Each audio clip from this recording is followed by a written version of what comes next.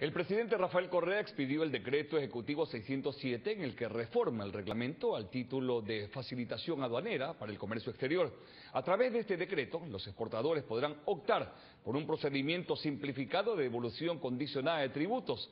Textualmente, el documento dice permitir a los exportadores de ciertas mercancías optar por un procedimiento que simplifique el trámite de devolución condicionada de tributos al comercio exterior.